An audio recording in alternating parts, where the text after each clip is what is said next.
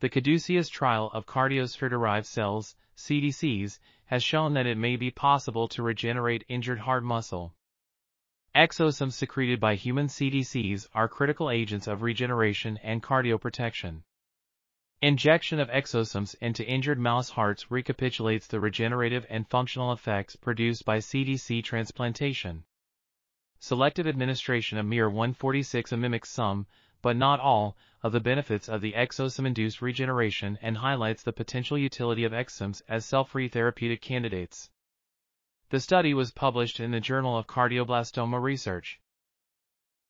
This article is titled Exosomes as Critical Agents of Cardiac Regeneration Triggered by Cell Therapy and was authored by Ahmed Gamal Eldin Ibrahim, Ke Cheng, and Eduardo Marbán.